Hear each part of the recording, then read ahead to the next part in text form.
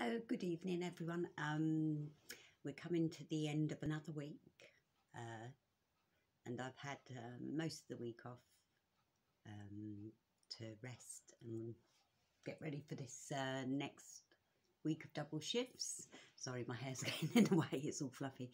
Um, it's been a really lovely week. Uh, spent lots of time with the kids. It's been really nice. Played um, today's been exceptionally good.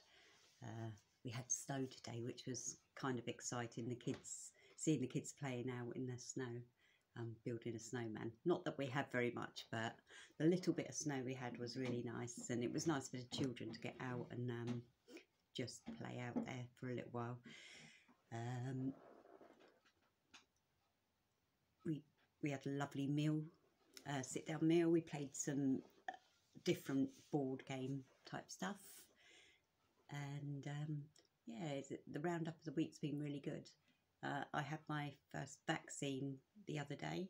Um, just a few mild symptoms on the day after, which was the Friday.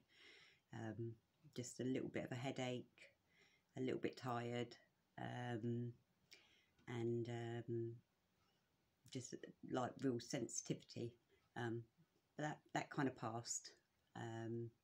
Friday night I was working with the kids.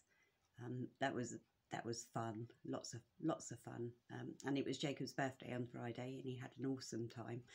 Um, yeah, so the roundup of the week's been really really good. Um, it's nice sometimes just to get a little bit of rest uh, to recuperate and build your strength. Um, Haley's back with us tomorrow. Really really looking forward to seeing her again um, and having her with us.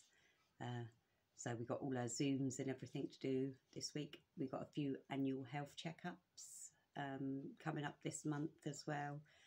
And um, we have day centre annual reviews and um, probably a college one for Nicoletta as well. So it's it's that time of year where you got got all your annual reviews, lots to sort out. Um, and that's really about it. Um, hope you have a beautiful evening and uh, a lovely new week ahead. Bye.